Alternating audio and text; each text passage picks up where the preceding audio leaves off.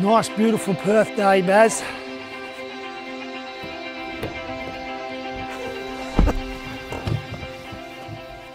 Cabes, Yes, here we are, mate. it is.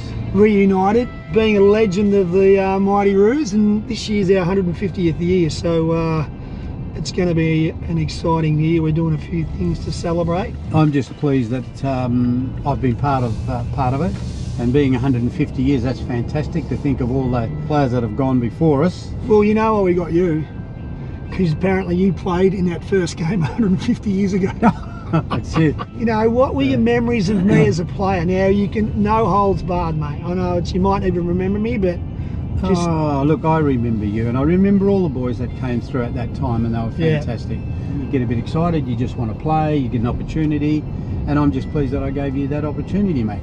And Well- I think that you played as well as you could. You did your very best, which a lot of the boys did.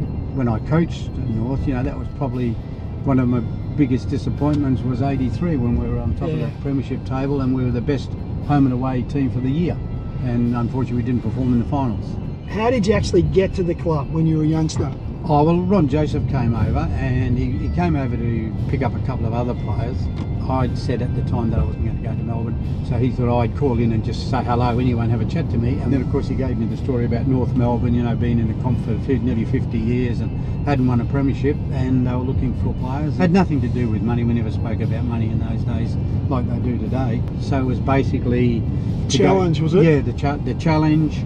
And uh, to help North Melbourne win the premiership. What was what was a noticeable difference for you when you were there in '70, we were down the bottom of the ladder, and then you come back in '74, and all of a sudden the, the, the club's been totally revitalised. pretty obvious. I mean, the club had then gone out because they'd obviously thought, well, look, you know, we really got to do something about this business about poor old North Melbourne. So then they'd obviously spoken to Alan Aylett, a great player of the North Melbourne Footy Club. He became president. They picked up Ron Barassi, who at that time was probably the best coach in Victoria.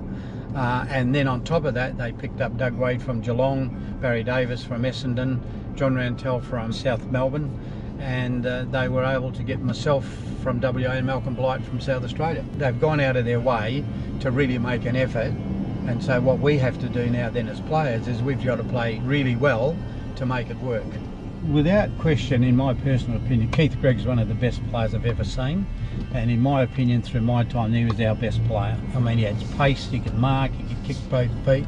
He had everything going for him. He was, he was terrific. You are a very modest person, mm. Cabes, Yes. because I don't think people realise, you know, what you went through when you had the incident with your leg Oh, yes. and you nearly lost your life. I was just uh, too anxious to, you know, jump on the jump on the tractor and get it going, and, and so I, I cranked her up. And of course, being in front of it and close to the shed, as I cranked it, it sort of kicked into gear and just came straight, jump, jumped forward, hit me in the chest, pushed me back.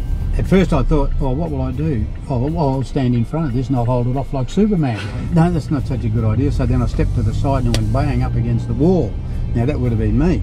And so then, because I was still in shock, I went to turn off the key uh, in the front, and of course, as I did, I obviously swung my foot around and I had my runners on, and the back wheel caught it and just pulled me straight underneath. You lost your calf, basically. Yeah, completely. Yeah, And that taken was- off. It was um, what they call convulse, which means minced out. It was minced off the bone. Yeah, you know, I was in hospital for four months. Couldn't get out of bed for four months because you had to wait till it was completely sterile because it had petrol, Risk of oil, infection. yeah, all sorts of things in it. And uh, because of that, I got a bit of septicemia.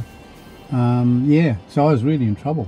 On behalf of the footy club, and I'm sure all the North supporters, mate, you've been a magnificent legend of our football club. And in the 150th year, mate, we just want to um, thank you for making your time available today. Well done, mate. Thanks, mate.